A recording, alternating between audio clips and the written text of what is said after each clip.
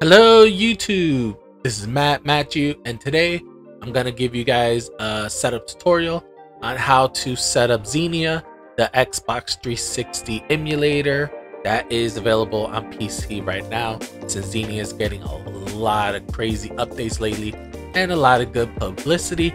So let's get to it. Right off the bat, let's load up. You can go into Xenia's GitHub page. We're going to be using Xenia Canary version due to the fact that the Canary version allows us to use custom patches, which is used to enhance the games themselves and make them run a little better.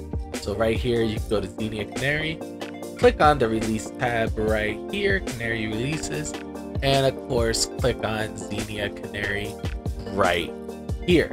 Now, once you click on it, it will download right here.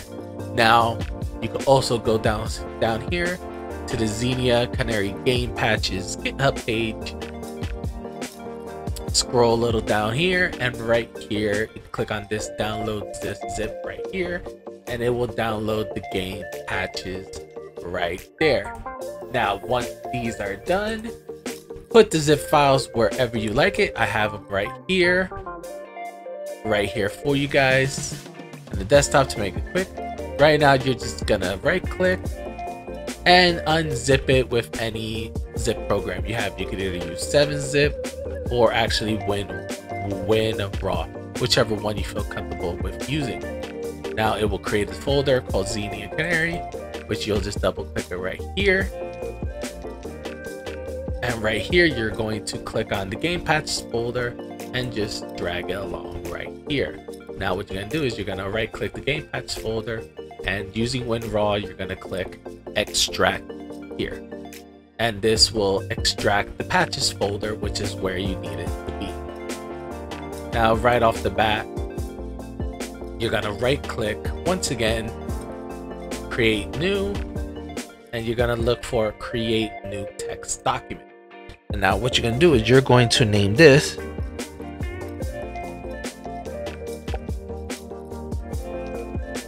you're going to name this portable. Now, what this does is the first time you load up Xenia, right here, it's going to create the Xenia config folder, which is what you need to configure Xenia itself. Now, what you're going to do is you're going to close Xenia temporarily. You're going to open the Xenia Canary config folder And right here, we're just gonna change a few minor things to make Xenia run just a little bit better. You're gonna scroll down. A lot of these settings you're gonna leave as default because a lot of them don't really need to change anything. Um, and it's just gonna keep on scrolling, scrolling,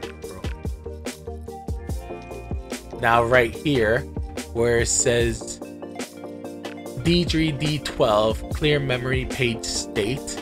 Now, if you're using any Team Ninja game, um, Devil May Cry, uh, I believe it's the DMC version, DMC Devil May Cry, as well as any of the Ninja Gaiden games, you're gonna want to change this to true.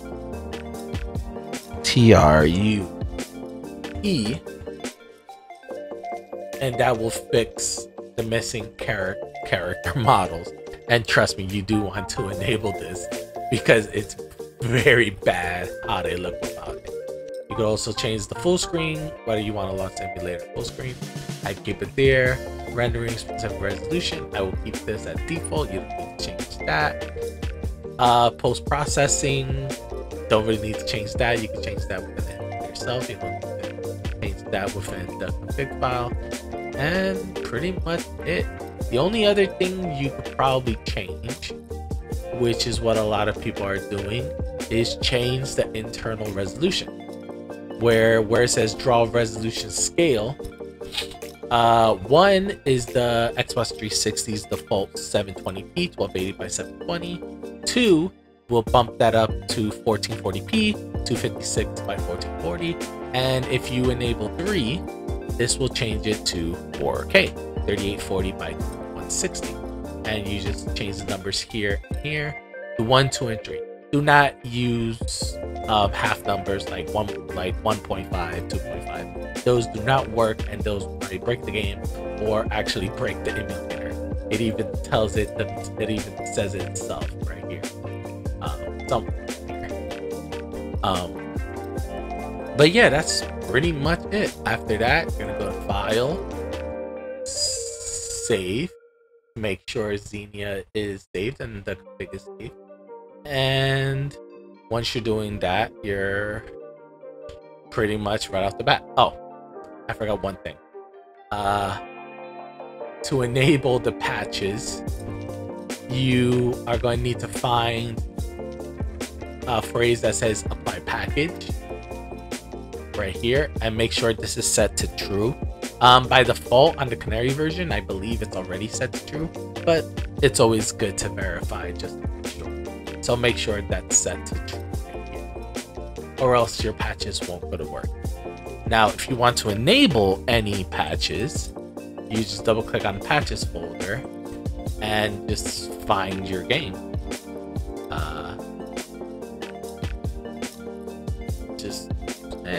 Eh, let's just do Perfect for considering that's the game I was playing this this morning. Uh, pretty much fine, whatever you're looking for, like 60 FPS mode. We're just gonna set that to true. T U E. Uh, don't want to change aspect ratio. Pretty much it. Whatever you want to enable, just enable it, and just make sure you save changes. Code. Now we're gonna need some games. So for this, we're gonna hop over my Xbox 360 and I'm just to show you how to make a backup of your game to use it on Xenia.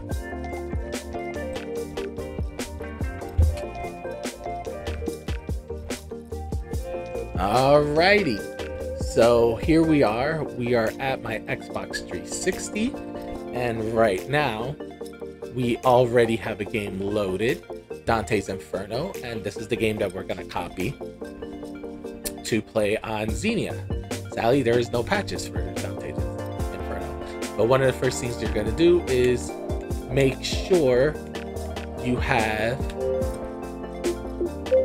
a SD card, a SD card, a USB drive that is a minimum of 32 gigabytes, of 16 gigabytes minimum.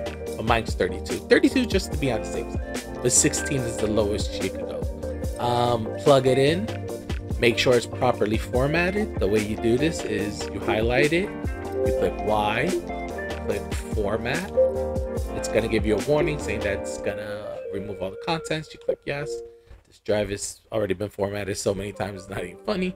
And just let it go right there. Now it should say if it's a 32, 28.8 gigs. If it's 16, I believe it's like 14 point something gigs. Um, make sure everything's good. You're gonna go to console settings and make sure autoplay is set to disabled. Before you pop in any game, make sure autoplay is set to disabled because if not, as soon as you load in your game, it will automatically load it and it will not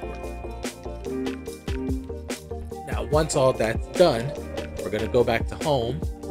We are going to pop in your disk, make sure your tray is already open pop in your disk and close it, it's gonna load up the game. So you know what? I'm just gonna show you guys that right now. Boom, disk is open. Pop in the thing, it's gonna read it.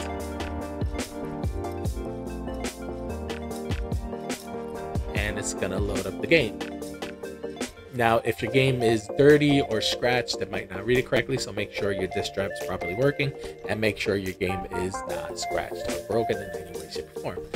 Now, once the game is loaded, you're going to click X for game details, and it's going to give you an option to install the game.